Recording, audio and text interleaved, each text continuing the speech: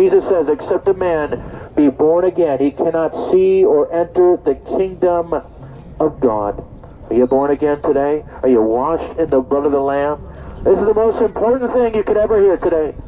This is the most important thing you will hear your entire life is how to have peace with your Maker, how to have peace with God, and that is through the Lord Jesus Christ. The most loving thing I could tell you, as harsh as it, as it is, is that right now, apart from Christ, you're on the path to destruction that leads to hellfire forever.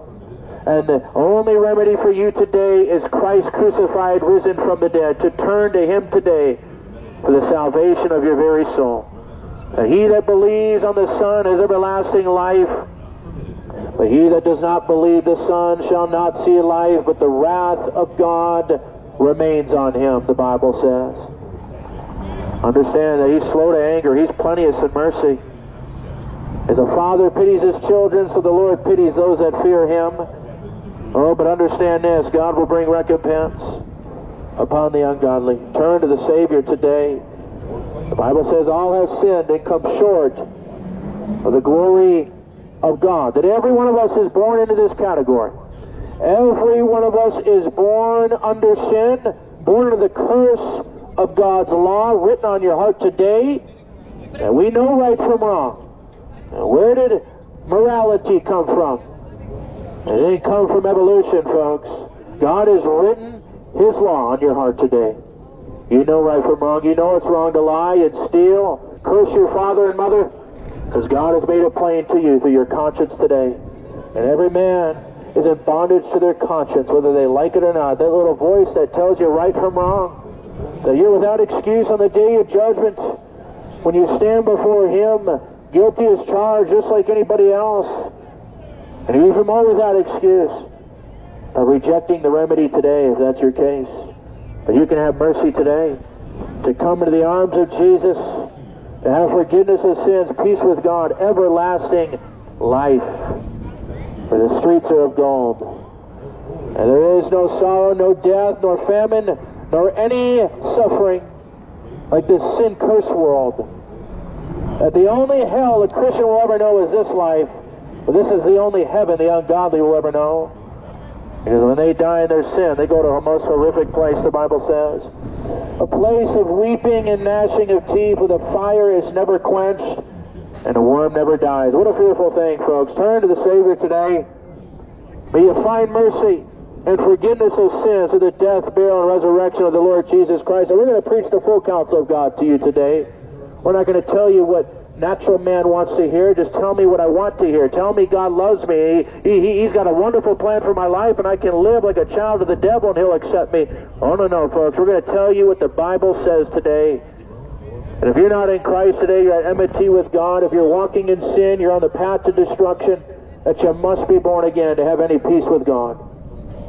As the Bible says, therefore being justified by faith, we have peace with God through our Lord Jesus Christ. That the only way you can have peace with God is through the Lord Jesus Christ. Do you have peace with God today? Oh, we got peace. The only question that concerns your soul today, folks, is are you right with God? And I said it once, and I'll say it again. How many people right now, sadly, are on their deathbed, in a hospital bed, dying from some sickness or disease? Are they ready to meet God? Are they ready to stand before the one who gave them their very life? As they take their last breath and pass forth into eternity forever? Oh, folks, may your case be that you found mercy and repented and believed on the only begotten Son of God for the salvation of your soul. As the Bible says, God sent not his Son into the world to condemn the world. That's not why Christ came. He didn't come to condemn the world. He came to save his people from their sin. God sent not his Son into the world to condemn the world, but that the world through him might be saved. The Bible says, He that believes on him is not condemned, but he that believes not is condemned already because he's not believed in the name of the only begotten Son of God. He says, This is the condemnation. The very words of Jesus written in red, John chapter 3. He says, This is the condemnation that light has come into the world but men love darkness rather than light because their deeds were evil. For everyone that does evil hates the light Neither comes to the light, lest their deeds should be reproved, but he that does truth comes to the light, that their deeds may be made manifest, that they are wrought and done in God.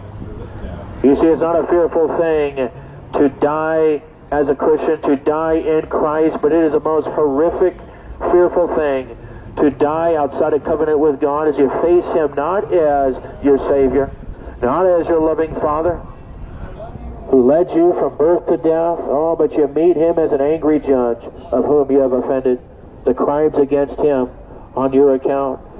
You need the only mediator between God and men.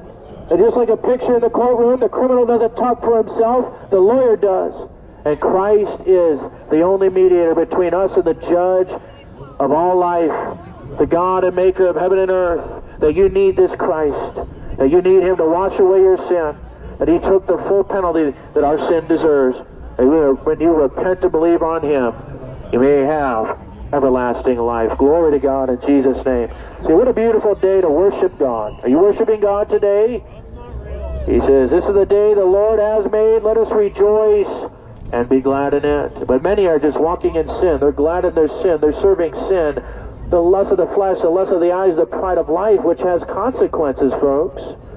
That's why we're here today to warn you because nobody else will. Nobody else will tell the sinner what they don't want to hear. They'll be offended or hate you or whatever means it may be. The most loving thing I could tell you today is that if you're not in Christ, if you died right now in this condition, you'd wake up in hell forever. That's the most loving thing I could tell you today, so that you might cling to the Savior, the Lord Jesus Christ, to have mercy and forgiveness of sins. At the great white throne judgment, when we stand before God, every one of us will be without excuse. You've heard the word today. You've heard the gospel. You've heard what you need to do. Today, God puts before you life or death. What will you choose? Turn to the Savior today. Glory to God in Jesus' name. The Bible says God was in Christ, reconciling the world unto himself, not imputing their trespasses unto them, but has committed unto his people the message and word of reconciliation. That our message for you today is not condemnation.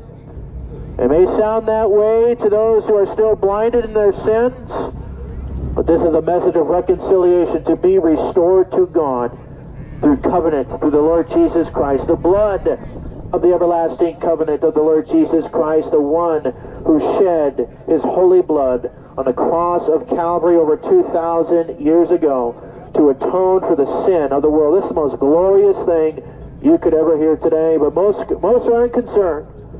Most could care less. That's the human race. We're indifferent. We're at enmity with God. Give me everything but God. Even though He gave you your very life and everything that you have, the power to get well, the power to, to do everything that you do. Give glory to your Maker today. Give glory to Him. Because one day your knee will bow to your Maker and you will answer for everything you've done. The Lord Jesus Christ came into the world for this very thing to atone for your sin, to take the full wrath of the cup of the Almighty, the full penalty that your sin deserves, that you might have peace with God. Turn to the Lord Jesus Christ today to have peace with God. The Lord Jesus is the way, the truth, and the life, and no person comes unto the Father except through him. Understand that, folks. That you can't get to God by your own good works. God requires perfection. God requires perfect obedience to every jot and tittle that is written in his law given to man, and no human being on the face of the earth from the beginning of time to the end is capable of such standards. But that's why Christ came to fulfill the law of God for us, that his life of obedience will be imputed to your account, where God can look upon you as holy and blameless before his sight, having done no wrong because of what Christ did. I'll say it again because it is most glorious. This is the most glorious thing you could hear today. This is the most glorious thing that could enter your ears is how to be made right with God. But we're so concerned now. We're so concerned with this life. What am I going to do today? Folks, have you given uh, consideration of where you're going to go when you die. on the decibels. Where will you go when you die? Where will you spend eternity? Turn that shit down. That is the only thing that should concern your soul today is you need Jesus. You need the Savior, the Lord Jesus Christ, the only begotten Son of God. God sent not his Son into the world to condemn the world, but that the world through him might be saved. He that believes on him is not condemned. But he that believes not is condemned already. Understand that, folks. Fear God and keep his commandments, the Bible says. For God shall bring every work into judgment with every secret thing, whether it be good or whether it be evil. Everything we've done has already been written in heaven. As the Bible says, at the great white throne judgment, God shall open up the books. The books will be opened, and another book will be opened, which is the book of life. The dead will be judged of those things which are written in the books according to their works. The very end of time, a most sobering day. There's not going to be any smiles at the great white throne judgment. It's not going to be any amens. It's going to be a most sobering environment as every human being stands before Almighty God to answer for the deeds done in the body according to that which they have done, whether it be good or whether it be evil. Make sure you're right with God today, folks. You don't know the day nor hour God's going to require your life. 150,000 people die every day. You could die on your way home today. Are you right with God? Are you ready for such an event? Are you ready to take your last breath and stand before God? It's a serious thing. It's a sobering thing. And since it's a sobering thing, we ought to use sobering vocabulary. And if you die apart from this Christ, you'll wake up in hell forever. As the Bible says, the wicked shall be turned into hell and all the nations that forget God. What a nation, America, that has forgotten God. We have the audacity to put God bless America on our money. Are you kidding me? The audacity. And God just laughs. What an ignorant nation. 70 million murdered unborn children in the womb since the 70s. And the Bible says God hates the hands that shed innocent blood. The blood, the innocent blood on this country. The innocent blood. We have the audacity to say, God bless America. Understand when the Lord Jesus Christ comes again, there's not going to be any amends. It's not going to be, oh, hey, buddy, I'm glad you died for me. Oh, no, no, no, folks. He's coming with war, the Bible says, to judge the nations. He's coming again in flaming fire, the Bible says, to take vengeance upon all those who do not know God, upon all those who do not obey the gospel of the Lord Jesus Christ. And it says, they shall be punished with an everlasting destruction from the presence of the Lord and from the glory of his power. You are going to stand before the King of Kings and Lord of Lords and answer for everything you've done. You see, folks, it's a sobering thing. There's not going to be any laughter at the judgment seat. There's not going to be any mockery at the judgment seat that you would have wished you went back to the day you heard the gospel if you die in your sins.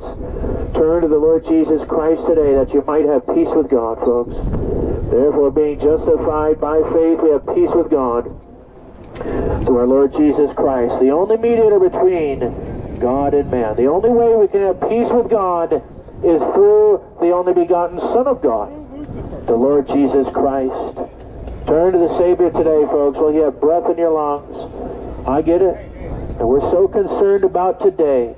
What, how am I going to please myself today? Oh, folks, that's why you need a new nature. That we don't naturally love obeying God and doing what He commands. That's why you need to be born again to be given a new heart, to take away that heart of stone that every one of us is born with. that's that enmity with God. And He gives you a heart of flesh to love and walk in His ways, to love what He loves and hate what He hates. It's called being born again of the life of the precious Lord Jesus Christ. Glory to God in Jesus' name. The Bible says there's no other name under heaven given among men by which we must be saved. And that is the Lord Jesus Christ. He is the door. He is the only way to God. He is the image and revelation of God the Father in heaven. That the Lord Jesus Christ, it is written of him, he is the revelation of God the Father in heaven. You want to know who God is? Look to Christ. Read what is written in the Gospels of Holy Writ. Understand that, folks. You see, Allah is the devil. Understand that. There's only one God, one mediator between God and man, the man Christ Jesus. The only, the only way you can come to God is through Christ. He's the only hope for the sinner. This is the only hope that there is. The only hope that there is is the Lord Jesus Christ. He is the only Savior of men. And it's not a religious cult that professes you must do this or that to be saved. It's not a works-based salvation. It's not denying the things in the Bible and changing it as we would like it to be to fit what we want. No, we go by Holy Writ, the inspired Word of God given to us through the Holy Ghost. That He is God in three persons. God the Father, God the Son, God the Holy Spirit, no matter what wicked cult wants to tell you otherwise. He's God in three persons. And the only way you can be saved is the Lord Jesus Christ, that there is a literal hell that Jesus spoke, spoke about out of his own very mouth. That he says it is a place of weeping and gnashing of teeth, where the fire is never quenched and the worm never dies. Repent ye therefore and be converted, that your sins may be blotted out when the times of refreshing shall come from the presence of the Lord. Are your sins blotted out in the eyes of God today? That the only way that can happen is to come to Christ to be saved, to turn from your evil ways, to turn to the only Savior of men, the Lord Jesus Christ, who gave himself a ransom for all to be testified in due time. And we have been under the ministry of reconciliation for over 2,000 years. And when will God no longer strive with humanity? Only God knows. And one day, folks, he's going to crack the sky, and he's coming with great power and great glory to judge the nations, to judge those outside of covenant with him. You must be born again to have peace with God. You must be born again. Turn to Christ to be saved. There's no other name under heaven given among men by which we must be saved, and that is the Lord Jesus Christ. Turn from evil ways. Turn to the Savior today, the only begotten Son of God. The Bible says, God sent not his Son into the world to condemn the world, but the world through him might be saved. Question for you today is, are you saved? Are you right with God? Are you washed in the blood of the Lamb? Christ was once offered to bear the sins of many. It's a one-time offering. For by one offering, he has perfected forever them that are sanctified. It is a forever settled in heaven. The way of salvation, the one-time offering of the Lord Jesus Christ. And turn to the Savior today and live. The Lord Jesus, written in his word, he says, Look unto me and be saved all the ends of the earth. For I am God and there is none else. He is the only Savior of men. That the grace of God that brings salvation has appeared to all men, teaching us that denying ungodliness and worldly lusts we should live soberly, righteously, and godly in the present world, looking for the blessed hope and the glorious appearing of our great God and Savior, the Lord Jesus Christ. Have you received this Jesus? Who is Jesus to you today? Is he your judge or your Savior? Understand this, folks. Understand that he is the only Savior of men, but he's also the judge of all the earth. Make sure you're right with God before that great and dreadful day. When God shall lay before him both small and great, rich and poor, small and high, to answer for the deeds done in the body, according to that which we had done, whether it be good or whether it be evil. The Bible says the wages of sin is death. That's why every human being dies is because of sin. Not because of disease, not because of a car accident. We die because of sin. That's the ultimate reason. We die because of sin. Without sin, there is no death. But every man dies because of their own personal sin. That God told Adam and Eve, the day you eat of the fruit thereof, you shall surely die. And sin and death entered into the world. And death through sin. And so death passed upon all men. Because all have sinned. All have sinned and come short of the glory of God. And every one of us is in this category. Every one of us has sinned against a holy God. The Bible says all have sinned and come short of the glory of God. Not some, not many, not most. But all have sinned and come short of the glory of God. But we are justified, made right with God by the death, burial, and resurrection of, His Son, the Lord Jesus Christ, when we repent and believe on Him. Are you right with God today, folks? You don't know the day nor hour God's going to require your soul. You don't know when God's going to come and visit you with death. Make sure you're right with God before that day. It don't matter how old you are, how young you are, death could come at any moment. Ain't that the truth?